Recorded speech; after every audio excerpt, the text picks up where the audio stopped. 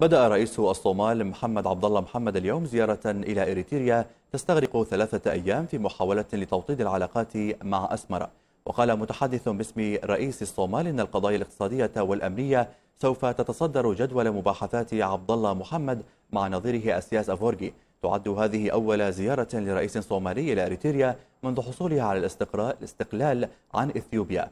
ولا توجد علاقات دبلوماسية بين البلدين منذ نحو 15 عاماً.